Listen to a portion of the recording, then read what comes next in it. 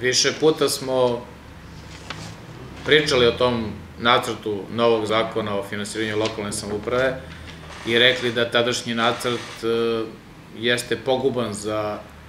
finansiranje lokalnih samouprave i za razvoj lokalnih samouprava, jer na lokalu, u opštinama, gradovima, mesnim zajednicama, selima pulsira život, a to neko u MMF-u ne razume, niti žele da razume. Na svu sreću, taj nacrt nije dočekao svetlost dana, iako oni najavljuju da će ga reinkarnirati možda i sledeće godine. Ovaj nacrt izmene zakona je poprilično kozmetički, smanjuje samo 3%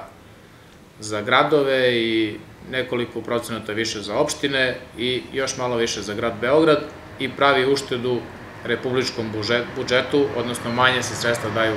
lokalnim budžetima u iznosu od nekih 7-8 milijardi dinara, koliko sam ja video, možda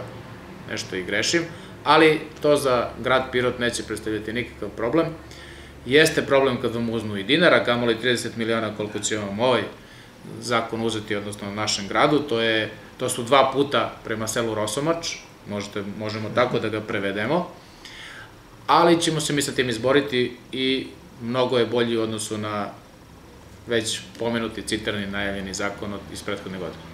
Lično pitanje, imali ste susrete sa Anom Brnabić od tada, e, bilo je nekoliko događaja. Na koji način ona gleda i da li strepite da će ubediti da se nešto menja? Pa ja sam siguran da će ona delimično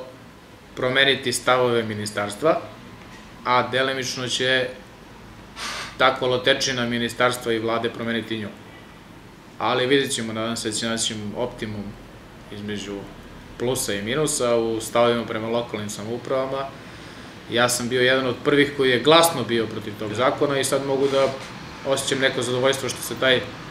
zakon ipak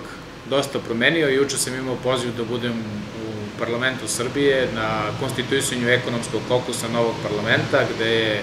novi stari predsednik Vlada Marinković i Ana predstavljaju taj zakon